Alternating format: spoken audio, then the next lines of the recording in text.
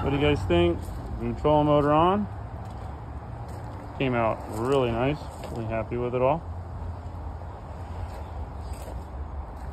New steering wheel he wanted.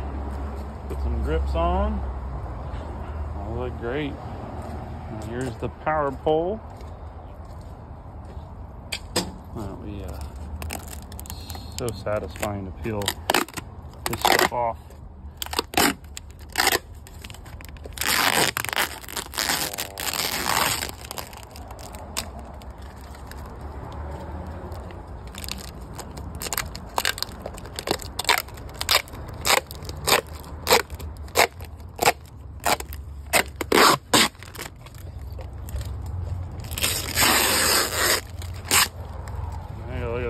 That. Thing is sexy.